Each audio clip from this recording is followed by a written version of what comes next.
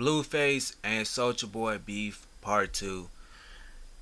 Those two been going at each other because they been uh, dissing each other and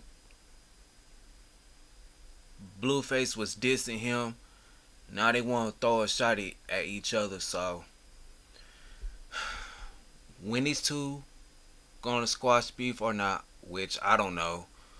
But uh, I see a couple of videos of Blueface doing unthinkable things and Soulja Boy respond back to him. So I just come on her report this video. So tell me your thoughts about this video.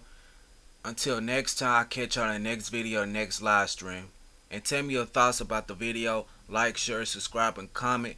Because I don't think they're not going to be stop beefing with each other. So with that, I'm out. Peace.